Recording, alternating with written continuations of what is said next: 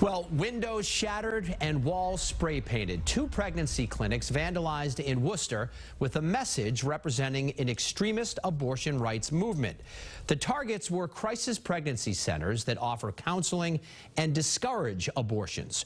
Juli McDonald is live for us in Worcester tonight where you can still see the damage, Juli.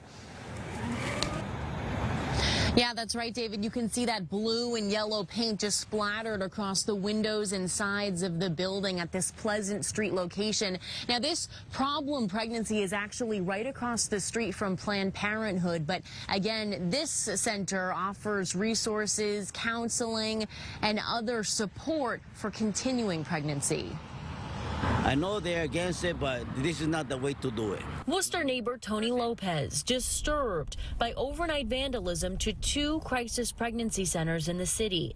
Paint was splattered and windows smashed. Uh, the purpose of this is to destroy things, and that is vandalism. I do not agree with that.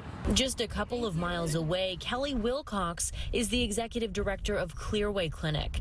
She said everyone in a community should be concerned about acts of domestic terrorism. These are uh, abortion extremists. I don't think all people who support abortion would do such extremist acts, but these are clearly a domestic terrorist organization called Jane's Revenge. Jane's Revenge sprayed in graffiti outside both clinics. That's the abortion rights organization formed after the Roe v. Wade draft opinion was initially leaked.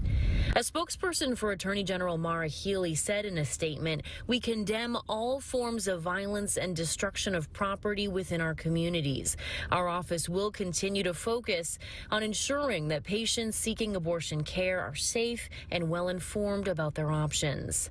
And at Clearway, clinic leadership says they will not be intimidated. As always, they're focused on the women and families who come to them for support. We've been serving Worcester for 22 years and helping over 10,000 uh, patients, so we're a great service to our community. Now, incidents targeting uh, facilities like this crisis pregnancy centers have been increasing across the country in recent weeks. Worcester police would only confirm they are investigating both incidents. Juli McDonald, WBZ News.